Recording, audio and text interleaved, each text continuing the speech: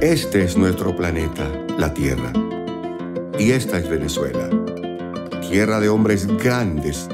y mujeres gigantes, de soñadores subversivos, de niños felices, de almas compasivas, de héroes que se nos fueron a la eternidad, pero antes nos enseñaron a pelear por nuestro derecho al delirio, a llevar en el pecho el orgullo de nuestro origen y a entender que un gran corazón, sin importar de dónde venga, es la virtud más necesaria para conducir un país.